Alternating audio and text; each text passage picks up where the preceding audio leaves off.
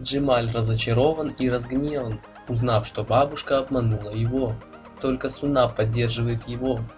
Хюлья, чтобы вернуть сына, подвергает себя риску, поджигает дом. Или умрет, или вернет сына обратно.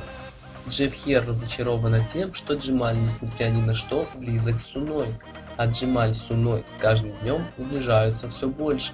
Джемаль потерял дом, теперь единственная надежда на ткани, которые он купил у Гекхана, однако Гекхан подставил его и отправил бракованные шелка. Джемаль начинает действовать, чтобы справиться со всем этим. Он продумывает умный план, после которого Гекхан теряет и клиентов и оказывается униженным перед самим. Гекхан, понявший, что попался на игру, решает отомстить Джемалю. И в этой его мстительной игре есть новый союзник – Хюлья, мама Джемаля. Хюлья, стараясь защитить сына от ада, не осознает, что отбирает у него единственное прекрасное, имеющееся в жизни.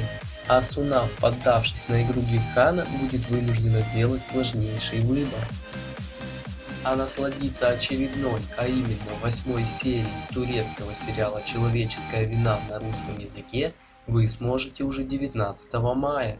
Всем спасибо за просмотр, подписывайтесь на канал, ставьте лайки, комментируйте видео.